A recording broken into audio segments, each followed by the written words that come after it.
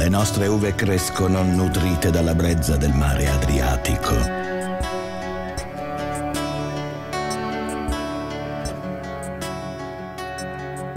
E protette dai monti gemelli.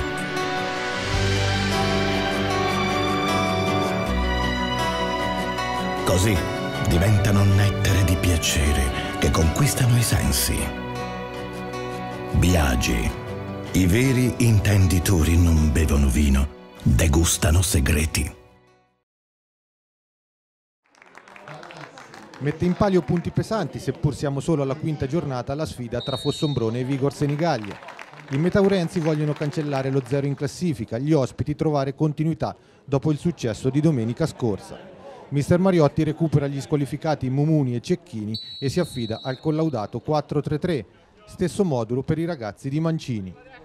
È il Fossombrone a fare la partita in avvio. Al quarto punizione di Bartoli ribattuta dalla barriera. Poco dopo bello spunto di Tonucci sulla destra, il cross è respinto dal portiere. E ancora Tonucci in cattedra all'undicesimo sul suo traversone insidioso non arriva però nessuno. La Vigor fa molta fatica a manovrare. Solo alla mezz'ora si vede davanti con un tiro di Cuomo che non impensierisce Mumuni. I padroni di casa chiudono i rossoblù nella loro metà campo senza però rendersi pericolosi. Pochissime le emozioni, quasi nulli i tiri in porta. La gara si accende nel finale di tempo. Al 41esimo fuori una conclusione dal limite di Pianelli.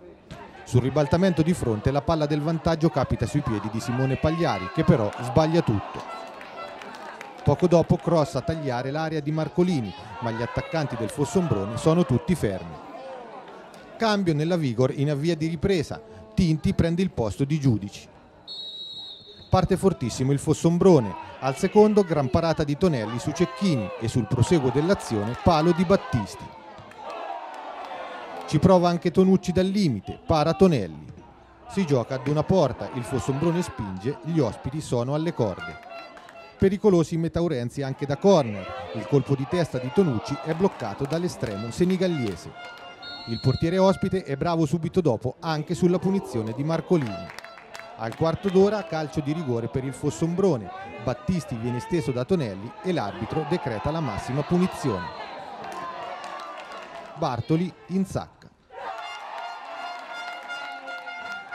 Poco prima della mezz'ora la Vigor rimane in 10, espulso il portiere che in uscita tocca la palla con la mano sul pallonetto di Cecchini.